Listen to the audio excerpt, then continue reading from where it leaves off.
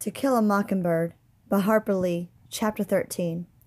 Put my bag in the front bedroom, Calpurnia, was the first thing Aunt Alexandra said. Jean Louise, stop scratching your head, was the second thing she said. Calpurnia picked up Auntie's heavy suitcase and opened the door. I'll take it, said Jem, and took it. I heard the suitcase hit the bedroom floor with a thump. The sound had a dull permanence about it. Have you come for a visit, Auntie? I asked. Aunt Alexandra's visits from the landing were rare, and she traveled in state. She owned a bright green square Buick and a black chauffeur, both kept in an unhealthy state of tidiness, but today they were nowhere to be seen. Didn't your father tell you? she asked. Jem and I shook our heads. Probably he forgot. He's not in yet, is he? No, he doesn't usually get back till late afternoon, said Jem. Well, your father and I decided it was time I came to stay with you for a while. For a while? And Maycomb meant anything from three days to thirty years. Jem and I exchanged glances. Jem's grown up now, and you are too, she said to me. We decided that it would be best for you to have some feminine influence. It won't be many years, Jean Louise, before you become interested in clothes and boys. I could have made several answers to this. Cal's a girl. It would be many years before I would be interested in boys. I would never be interested in clothes, but I kept quiet. What about Uncle Jimmy? asked Jem. Is he coming too? Oh, no. He's staying at the landing. He'll keep the place going. The moment I said, Will you miss him? I realized that this was not a tactful question. Uncle Jimmy present or Uncle Jimmy absent made no difference. He never said anything. Aunt Alexandra ignored my question. I could think of nothing else to say to her. In fact, I could never think of anything to say to her, and I sat thinking of past painful conversations between us. How are you, Jean Louise? Fine. Thank you, ma'am. How are you? Very well. Thank you. What have you been doing with yourself? Nothing. Don't you do anything? No. Certainly you have friends. Yes'm. Well, what do you all do? Nothing. It was plain that Auntie thought me dull in the extreme, because I once heard her tell Atticus that I was sluggish. There was a story behind all this, but I had no desire to extract it from her then. Today was Sunday, and Aunt Alexandra was positively irritable on the Lord's Day. I guess it was her Sunday corset. She was not fat, but solid, and she chose protective garments that drew up her bosom to giddy heights, pinched in her waist, flared out her rear, and managed to suggest that Aunt Alexandra was once an hourglass figure. From any angle, it was formidable. The remainder of the afternoon went by in a gentle gloom that descends when relatives appear, but was dispelled when we heard a car turn in the driveway. It was Atticus, home from Montgomery. Jem, forgetting his dignity, ran with me to meet him. Jem seized his briefcase and bag. I jumped into his arms, felt his vague, dry kiss, and said, To bring me a book? Do you know Auntie's here? Atticus answered both questions in the affirmative. How do you like for her to come live with us? I said I would like it very much, which was a lie, but one must lie under certain circumstances and at all times when one can't do anything about them. We felt it was time you children needed. Well, it's like this, Scout, Atticus said. Your aunt's doing me a favor as well as you all. I can't stay here all day with you, and the summer's going to be a hot one. Yes, sir, I said, not understanding a word he said. I had an idea, however, that Aunt Alexandra's appearance on the scene was not so much Atticus's doing as hers. Auntie had a way of declaring what is best for the family, and I suppose her coming to live with us was in that category. Maycomb welcomed her. Miss Maudie Atkinson baked a lane cake so loaded with shinny it made me tight. Miss Stephanie Crawford had long visits with Aunt Alexandra, consisting mostly of Miss Stephanie shaking her head and saying, uh, uh, uh. Miss Rachel next door had Auntie over for coffee in the afternoons, and Mr. Nathan Radley went so far as to come up in the front yard and say he was glad to see her. When she settled in with us and life resumed its daily pace, Aunt Alexandra seemed as if she had always lived with us. Her missionary society refreshments added to her reputation as a hostess. She did not permit Calpurnia to make the delicacies required to sustain the society through long reports on rice Christians. She joined and became secretary of the Maycomb Amanuensis Club. To all parties present and participating in the life of the county, Aunt Alexandra was one of the last of her kind. She had a riverboat, boarding school manners, let any moral come along and she would uphold it. She was born in the objective case. She was an incurable gossip. When Aunt Alexandra went to school, self doubt could not be found in any textbook, so she knew not its meaning. She was never bored, and given the slightest chance, she would exercise her royal prerogative. She would arrange, advise, caution, and warn. She never let a chance escape her to point out the shortcomings of other tribal groups to the greater glory of our own, a habit that amused Jem rather than annoyed him. Aunt better watch how she talks, scratch most folks in Maycomb, and they're kin to us. Aunt Alexandra, in underlining the moral of young Sam Merriweather's suicide, said it was caused by a morbid streak in the family. Let a 16 year old girl giggle in the choir, and Auntie would say, It just goes to show you, all the Penfield women are flighty. Everybody in Maycomb, it seemed, had a streak a drinking streak, a gambling streak, a mean streak, a funny streak. Once, when Auntie assured us that Miss Stephanie Crawford's tendency to mind other people's business was hereditary, Atticus said, Sister, when you stop to think about it, our generation is practically the first in the Finch family not to marry its cousins. Would you say the Finches have an incestuous streak? Auntie said no. That's where we got our small hands and feet. I never understood her preoccupation with heredity.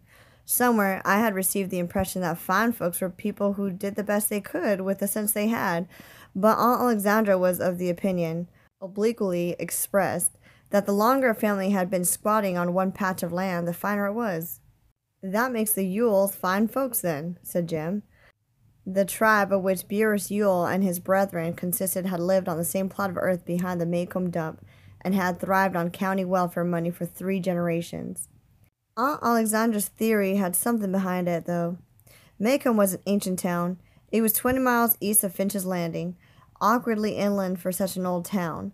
But Maycomb would have been closer to the river had it not been for the nimble wittedness of one Sinkfield, who in the dawn of history operated an inn where two pig trails met, the only tavern in the territory.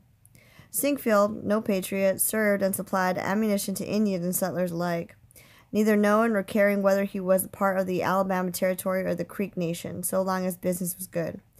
Business was excellent when Governor William Wyatt Bibb, with a view to promoting the newly created county's domestic tranquility, dispatched a team of surveyors to locate its exact center and there establish its seat of government. The surveyors, Sinkfield's guests, told their host that he was in the territorial confines of Maycomb County and showed him the probable spot where the county seat would be built. Had not Sinkfield made a bold stroke to preserve his holdings, Maycomb would have sat in the middle of Winston Swamp, a place totally devoid of interest. Instead, Maycomb grew and sprawled out from its hub, Sinkfield's Tavern, because Sinkfield reduced his guests to myopic drunkenness one evening, induced them to bring forward their maps and charts, lop off a little here, add a bit there, and adjust the center of the county to meet his requirements. He sent them packing next day armed with their charts and five quarts of shinny in their saddlebags, two apiece and one for the governor. Because its primary reason for existence was government, Maycomb was spared the grubbiness that distinguished most Alabama towns its size. In the beginning, its buildings were solid, its courthouse proud, its streets graciously wide. Maycomb's proportion of professional people ran high, one went there to have his teeth pulled, his wagon fixed, his heart listened to, his money deposited, his soul saved, his mules vetted. But the ultimate wisdom of Sinkfield's maneuver is open to question. He placed the young town too far away from the only kind of public transportation in those days riverboat. And it took a man from the north end of the county two days to travel to Maycomb for store bought goods. As a result, the town remained the same size for a hundred years, an island in a patchwork sea of cotton fields and timberland. Although Maycomb was ignored during the war between the states, Reconstruction rule and economic ruin forced the town to grow. It grew inward. New people so rarely settled there, the same families married the same families until the members of the community looked faintly alike. Occasionally, someone would return from Montgomery or Mobile with an outsider, but the result caused only a ripple in the quiet stream of family resemblance. Things were more or less the same during my early years. There was indeed a caste system in Maycomb, but to my mind it worked this way. The older citizens, the present generation of people who had lived side by side for years and years, were utterly predictable to one another. They took for granted attitudes, character shadings, even gestures as having been repeated in each generation, refined by time. Thus, the dicta, no Crawford minds his own business, every third Merriweather is morbid. The truth is not in the Dale fields. All the Bufords walk like that were simply guides to daily living. Never take a check from a Delafield without a discreet call to the bank. Miss Maudie Atkinson's shoulders stoops because she was a Buford.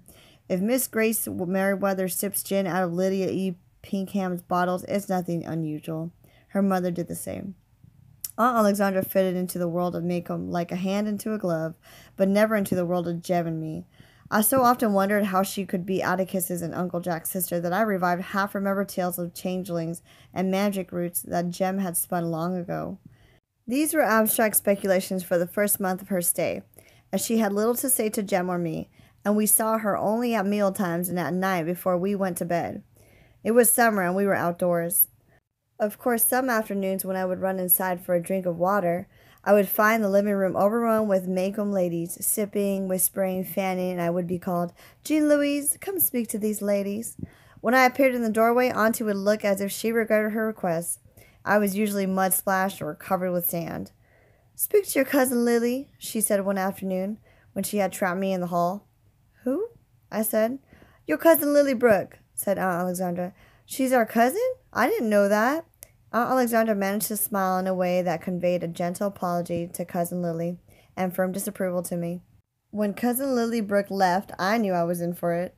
It was a sad thing that my father had neglected to tell me about the Finch family or to install any pride into his children. She summoned Jem, who sat warily on the sofa beside me. She left the room and returned with a purple covered book on which Meditations of Joshua S. St. Clair was stamped in gold. Your cousin wrote this, said Aunt Alexandra. He was a beautiful character. Jem examined the small volume. Is this the cousin Joshua who was locked up for so long? Aunt Alexandra said, How did you know that? Why, Atticus said he went round the bend at the university. Said he tried to shoot the president. Said cousin Joshua said he wasn't anything but a sewer inspector and tried to shoot him with an old flintlock pistol, only it just blew up in his hand. Atticus said it cost the family five hundred dollars to get him out of that one. Aunt was standing stiff as a stork. That's all? she said. We'll see about this. Before bedtime, I was in Jem's room trying to borrow a book when Atticus knocked and entered. He sat on the side of Jem's bed, looked at us soberly, then he grinned. Uh, he said. He was beginning to preface some things he said with a throaty noise, and I thought he must at last be getting old, but he looked the same. I don't exactly know how to say this, he began. Well, just say it, said Jem. Have we done something? Our father was actually fidgeting. No, I just want to explain to you that your Alexandra asked me, son, you know you're a Finch, don't you? That's what I've been told. Jem looked out of the corners of his eyes. His voice rose uncontrollably. Atticus, what's the matter? Atticus crossed his knees and folded his arms. I'm trying to tell you the facts of life. Jem's disgust deepened. I know all that stuff, he said. Atticus suddenly grew serious. In his lawyer's voice, without a shade of inflection, he said, Aunt has asked me to try and impress upon you and Jean Louise that you are not from run of the mill people, that you are the product of several generations, gentle breeding. Atticus paused, watching me locate an elusive red bug on my leg. Gentle breeding, he continued, when I had found and scratched it, and that you should try to live up to your name. Atticus persevered in spite of us. She asked me to tell you you must try to behave like the little lady and gentleman that you are. She wants to talk to you about the family and what it's meant to Maycomb County through the years, so you'll have some idea of who you are, so you might be moved to behave accordingly, he concluded at a gallop. Stunned, Jem and I looked at each other, then at Atticus, whose collar seemed to worry him. We did not speak to him. Presently, I picked up a comb from Jem's dresser and ran its teeth along the edge. Stop that noise, Atticus said. His curtness stung me. The comb was midway in its journey, and I banged it down. For no reason, I felt myself beginning to cry, but I could not stop. This was not my father. My father never thought these thoughts. My father never spoke so. Aunt Alexandra had put him up to this, somehow, through my tears, I saw Jem standing in a similar pool of isolation, his head cocked to one side. There was nowhere to go, but I turned to go and met Atticus's vest front. I buried my head in it and listened to the small internal noises that went on behind the light blue cloth his watch ticking, the faint crackle of his starched shirt, the soft sound of his breathing. Your stomach's growling, I said. I know it, he said. You better take some soda. I will, he said. Atticus, is all this behaving and stuff going to make things different? I mean, are you? I felt his hand on the back of my head. Don't you worry about anything, he said. It's not time to worry. When I heard that, I knew he had come back to us. The blood in my legs began to flow again, and I raised my head. You really want us to do all that? I can't remember everything Finches are supposed to do. I don't want you to remember it. Forget it. He went to the door and out of the room, shutting the door behind him. He nearly slammed it, but caught himself at the last minute and closed it softly. As Jem and I stared, the door opened again and Atticus peered round. His eyebrows were raised, his glasses had slipped. Get more like Cousin Joshua every day, don't I? Do you think I'll end up costing the family five hundred dollars? I know now what he was trying to do, but Atticus was only a man. It takes a woman to do that kind of work.